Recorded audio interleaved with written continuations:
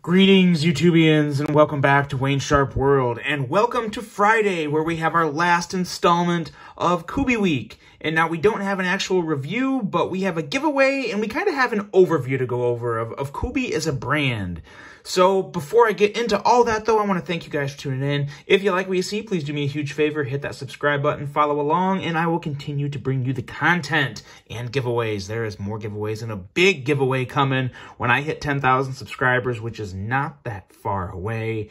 We're getting dangerously close, and uh, there will be a massive giveaway, so be ready for that. But Kubey, let's talk about them. So over this week, I've uh, reviewed three additional Kubeys. These three right here uh, the KU901C, the KU901G, and the KU322D, I believe. I'm pretty sure. And then I also have a couple other Kubeys right here. Um, this one I did uh, someone, somewhat recently. Um, one of my favorite Kubeys ever, still very high up there. I, can't remember the exact number on this. It's it's one of the one, one of the little drawbacks of Kubeys. It's it's hard to remember the numbers for all these knives, uh, but it's a front flipper. It's a very nice size, very smooth action. We're gonna talk about all these as well as this one right here, um, which I've had for quite a while, and I also have a review posted of this. Um, this one was reviewed quite a long time ago. There's been a lot of improvements made to Kubeys since this one, but this is still a good one. The action's still good. We'll talk about all that, all that too. Um, as you can see, this one has had a significant amount of love. I've dropped this guy on the concrete. Um, it's, uh, it's, it's beat up pretty good, but again, it's it's one of my keep it sitting around the house type of beater knives to where when I need a knife, uh, it's just within an arm's reach away. But now Kubey. Let's talk about not just one of these knives, but all of these knives and this, this, this brand right here, this Kubey brand. Uh, what do they bring to the table when you buy a Kubey knife? What should you expect? Um, from my experience now, and I have handled one, two, three, four, five, uh, and I would say three more I be, so I believe I've handled a total of eight Kubeys, eight different models. No, actually, there was another one I reviewed. So at least nine. There's been at least nine, maybe a tenth one. I can't remember now. It's a lot more than I thought, actually, just going back and, and thinking about it in my head. I, am coming up on 10 Kubeys that I have handled and, and uh, reviewed. And I have to say, Kubey has impressed me from the very beginning. The, from the very first uh, Kubey knife I reviewed on the channel. That one was impressive in terms of what it was, and they have they have kept getting better. They, it's also important to know that Kubey has a premium line. Um, I've I've only reviewed one of the premium Kubeys, and it was it was pretty good. It was a very unique design, uh, but the quality and action was there. Um, so key points to take away from Kubey. What should you expect when you buy a Kubey? Quality you are 100% getting great quality. Quality that is right up there with Civivi and Kizer and QSP. Um, who's another budget one that I'm leaving out? Um, CJRB. Um, they are very, very good in their quality department. I've had very few quality issues with any Kubeys. Um, I think the biggest quality issue I've ever had with the Kubey was maybe just a little off-centering of the blade something like that, which to me, again, I've said before when I reviewed this knife, this is still acceptable to me, but that's literally the worst issue I've ever had with the Kubey. So you're getting very good quality. Durability, which is kind of stacks on top of quality, but that also factors into the materials that are being used and, and a couple other factors, but durability of a knife, I'm going to go back to this Kubey here. I can't remember the number, but this knife has been beat on. It's been from all over America to Canada because I, I took it with me on some work travel. It is a great knife that has been dropped, kicked, scratched, taken apart, clean, put back together. Um, extremely durable knives. They really are. Their G10 it seems to be a little thicker than than other knives. They sometimes they don't have the liners. I think Kubey has went into the process of incorporating more liners into their knives than in the past. Um, as you can see on all these ones, they have liners. This is an older one, and it has uh, inset liners on the inside, but still thick G10, no flex in the scales.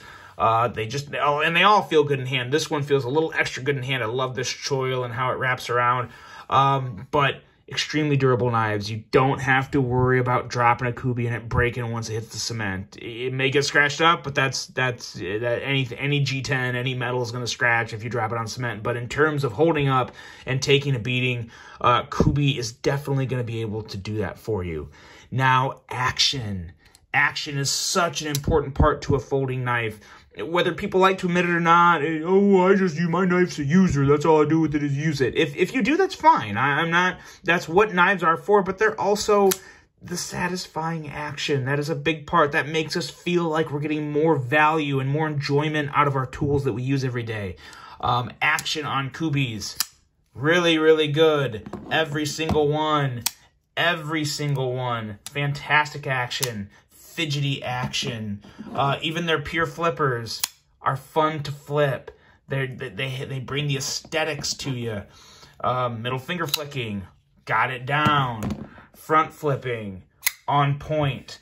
Kubey has nailed the action for what they offer in a budget knife. I'm going to get rid of these boxes and just kind of bring these knives front and center here. But uh, I have never had a Kubey that's had disappointing action and I can say that with 100% certainty. Um, the, the action on a Kubey is pretty much dialed in. Their detents are surprisingly great. I've never had any detent issues with a Kubey. I've never had one that was that was too strong or one that was too light. Um, they're always dialed in very well. Um, value. Value is an important subject to hit on with Kubey because there's a couple things that that they do that I don't think everyone is absolutely in love with, but that doesn't mean it won't change. Um, Kubey, another thing I really like about them is from what I've noticed with my experience in the past, um, they tend to listen to the people, and that's another reason why so many people like Kubeys. Um, so value. Um, and that's when we talk about value, we're talking about materials and cost and that combination of those two. Do you get a good balance?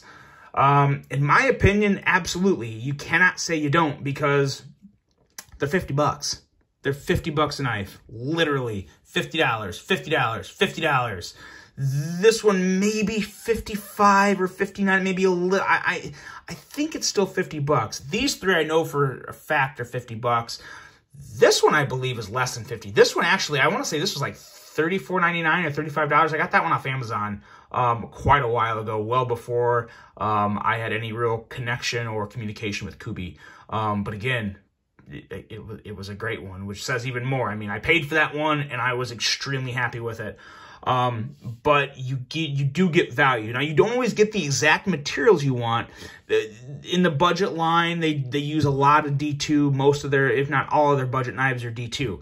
I, I don't think anyone's doing backflips over D2. They're not too excited about it anymore. 154 CM and 14C28N, and I think those are the two primary budget steels that we like to see now. But there's other steels out there too. Um, for me personally, corrosion resistance is a really big thing for me. So that's kind of why I shy away from D2 and it's a little harder to sharpen. But the value, the overall value, D2 is still a very good user steel for a knife that you're going to pay 50 bucks for. It's a good steel to have because it does hold a good edge. Again, it does it does have its drawbacks though. The materials and the rest of the handle and the liners, uh, that they do a good job of removing material on the internal liners to to take some weight out of there. Um, the G10 is very good quality. Um, so I absolutely think you get plenty good enough value for what you're paying. Now, if these were $100 knives, I'd have something else to say. But for 50 bucks, I, I cannot argue that. I, I just can't. Um, could there be some improvements to Kubey? Yes, there could be. But this is another thing that I like about Kubey. When they sent me their knives, there there was no, you got to do this, you got to do that, you have to, you know, please speak kindly. No. They sent me the knives and said, we look forward to your review. That tells me they're confident in their product. And I, and I already kind of knew that, but when you're working with a manufacturer or a brand in general and there's no influence, that says a lot to me. And obviously, if there is influence, I'm not necessarily going to call them out, but I'm not going to say there wasn't. So I, am always, uh, I'm always happy and relieved to say that. It makes the review process easier to where I don't feel like I'm, you know, walking on thin ice. Because if that was the case, I just wouldn't review it. If if there's always a bunch of stipulations, or or if a company's not happy with what I have to say, this channel is the truth. it's my truth anyway. It's what I think. It's what, and I think I have a pretty good pulse on what majority of the knife community wants. Not everybody. I know I don't speak for everyone. I don't think I speak for any individual person. I try and take and my general consensus of how I think the community feels, tie that in with my opinion, and give you guys the content that that I think is pretty decent. I mean, I don't know. You tell me. I, um, you know, that that's we're getting we're getting lost in the weeds here, but but in terms of improvements for Kubey, I think I would like to see, I definitely want to see that that that that D2 change to like 154 CM or, or 14C28N. That would be really, really nice. I think everyone would love that. Um, and it, it, there's been other companies to do it and prove that it's possible. So I, I think that is possible and realistic. Um, outside of that, though, you, we're really grabbing at straws because you get past the D2 thing and everything else in a Kubey is really pretty awesome. The only thing that I would like to see change a little is the clip here. I'd like to see, I, aesthetically, I, I really do like these clips. Um, and I want to compare them to a Civivi clip that I, and you guys know I rag on Civivi clips and weed clips now because they're using the same stinking thing, which is annoying as heck to me. But this is the difference. You see that now. I wish it had the opening, the same amount of opening on the clip as this Civivi Cogent clip does, but it's still, even if it had the right ramp or the, the a bigger opening, the way the ramp comes down, it's, it's a sleeker profile. It just, it looks a lot better on the handle, in my opinion.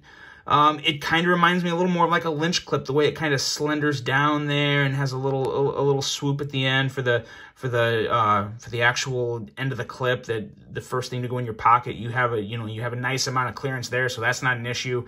But the Civivi clips, they're just they're they're straight. They're kind of boring and bland, and they just don't look like they go with their knives. This one here, I I'm sorry, I just think it looks a lot better on the knife and aesthetically it's much more pleasing. Even an older Kubey, they still had their clips down then. It just, it looks good with the knife. So in terms of the clips, I like it. I just wish there was a little more opening there so it wouldn't get caught up on any thicker pocket hems.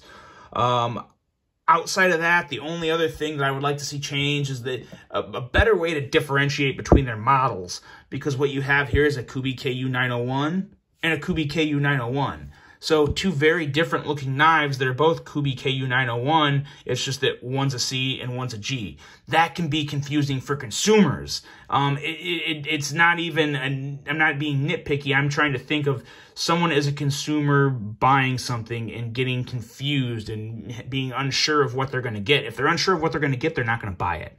Um, so I think that's very important to do something to straighten up. I mean, if this was a KU 350 and this was a KU 320, that's completely different. It's still the numbers, but it's easier to differentiate than just one letter at the end of a number. So I, I, I think I, you know, made that clear enough. I think if that changed, that would make it a little nicer.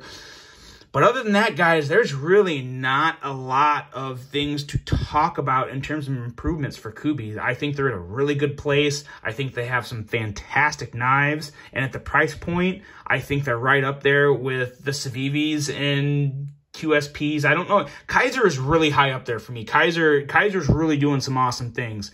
I can't put them with Kizer, but and I'm, I'm completely mean this when I say it. I really think they're right up there with Civivi, QSP, CJRB, um, for some reason they're just not talked about enough. And so that was the purpose of this week was to get you guys into into Kubey, take a deeper look at them because there's some awesome knives and they make a lot of changes. You know, this first knife here had a free spinning pivot that I thought was really annoying. Now these new pivots are not free spinning. They're notched, so they're not moving. I didn't really like the branding on it. Now these newer models have cleaner pivots.